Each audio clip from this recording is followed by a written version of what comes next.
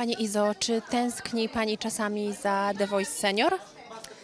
No pewnie, że tak. Mam nadzieję, że tam wrócę, bo e, z tego co pamiętam, to wszyscy byliśmy bardzo szczęśliwi ze sobą. A zmieni, zmieniła się obsada, bo tak